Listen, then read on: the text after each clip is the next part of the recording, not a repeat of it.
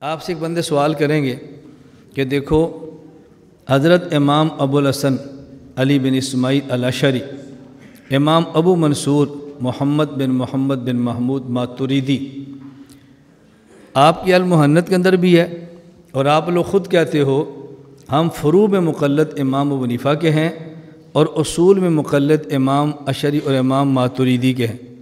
تقلید شخصی تو نہ رہی۔ نمبر دو کیا امام ابو نفا کا عقائد اور اصول پر مطالعہ نہیں تھا؟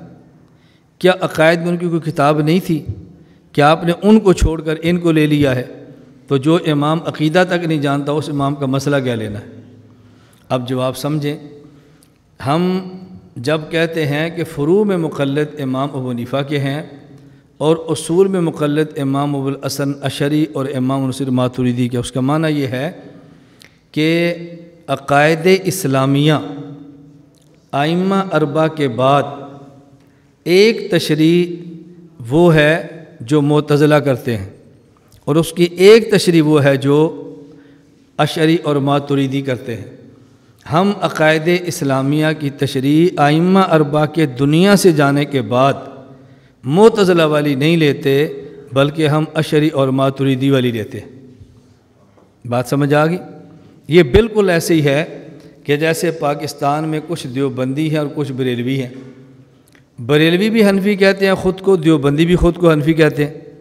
جب ہم کہتے ہیں ہم دیوبندی ہیں، تو ہم کہتے ہیں مسائل احناف کی جو تشریح علماء بریلوی کرتے ہیں، ہم وہ نہیں لیتے۔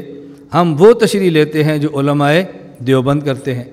تو دیوبندی ہونے کا معنی حنفی کے مقابلے میں نہیں ہے، بلکہ دیوبندی ہونے کا معنی حنفیت کی تشریح کے لیے ہے، تو ہمارا اشری اور ماتریدی ہونے کا معنی حنفی کے مقابلے میں نہیں ہے، بلکہ عقائد حنفیہ کی مزید وضاحت اور تشریح کے لیے ہے۔ یہ معنی ہے ماتریدی اور اشری ہونے کا۔ یہ معنی نہیں کہ ہم حنفی کے مخالف ہو گئے ہیں ہم ماتریدی اور اشری ہو گئے۔ ہیں کیونکہ یہ آئمہ ان کے بعد آئے ہیں۔ امام ابنیفا کی ولادت ہے اسی ہجری اور آپ کی وفات ہے ایک سو پچاس ہجری۔ حضرت امام مالک کی ولادت ہے ترانوے ہجری اور آپ کی وفات ہے ایک سو اناسی ہجری۔ امام شافی کی پیدائش ہے ایک سو پچاس ہجری اور ان کی وفات ہے دو سو چار ہجری۔ حضرت امام احمد رحمۃ اللہ علیہ کی ولادت ہے ایک سو چونسٹھ ہجری اور ان کی وفات ہے دو سو اکیالیس ہجری۔ اب دیکھو ان کا وقت اکتالیس پر پودا ہو گیا، دو سو اکتالیس۔ اور حضرت امام ابو الحسن اشری ان کی ولادت ہے دو سو چوبیس کی یا دو سو ساٹھ کی، اور وفات ہے تین سو چوبیس کی۔ تو وہاں آخری امام دو سو اکتالیس میں جا رہا ہے اور اشری دو سو ساٹھ کے اندر پیدا ہو رہے ہیں۔ ان کے بعد کا مسئلہ ہے۔ اور امام ماتریدی کی ولادت ہمیں ملی نہیں ہے، وفات ان کی تین سو تینتیس ہجری کی ہے۔